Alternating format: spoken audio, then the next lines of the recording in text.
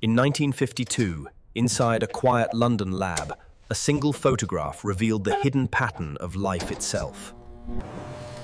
As the film developed, faint rings appeared a pattern so perfect it seemed impossible to belong to chance. The image was shared in whispers, passed from desk to desk, without the one who captured it ever knowing. The discovery reached the world, celebrated in headlines, yet the image's creator remained a mystery to most.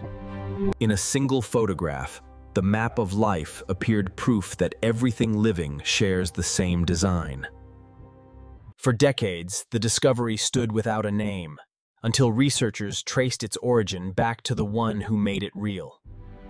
The discovery stood complete, yet one page remained unwritten, the story of who made it possible.